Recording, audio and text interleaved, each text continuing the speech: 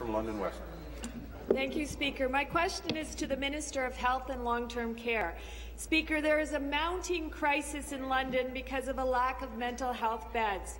This week we learned about 18-year-old patient Jenepher Watts, who was forced to sleep on the hospital floor in the emergency room at Victoria Hospital. This is not an isolated case. It reflects a systemic problem.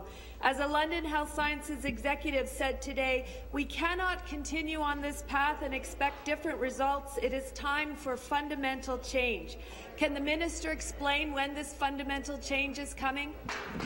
Minister of Health and Well, thank you. Um, I can tell you, uh, Speaker, that I was uh, very disturbed when I heard the story that the uh, the member opposite is referring to. I know the hospital is investigating; they are understanding what happened, and we have to make sure that that does not happen again. Speaker, we are investing heavily in supports for people with mental health challenges. We are doing a lot to keep them out of hospital, out of the emergency department.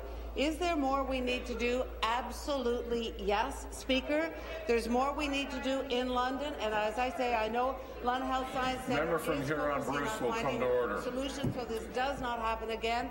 But we also need across the province to do more to support people with mental health challenges. That's why we have made some significant improvements, including Answer. a 24-hour uh, crisis line, Speaker, that is actually helping people get the right care. There is more to do, and I'll speak to that in the supplementary. Supplementary. Uh, thank you, Speaker.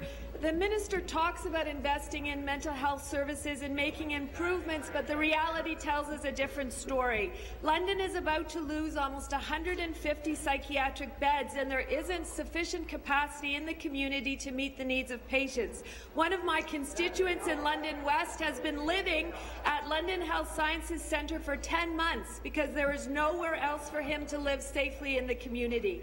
The lack of community services means that patients with mental health diagnoses end up in crisis and are left waiting for days in the emergency room.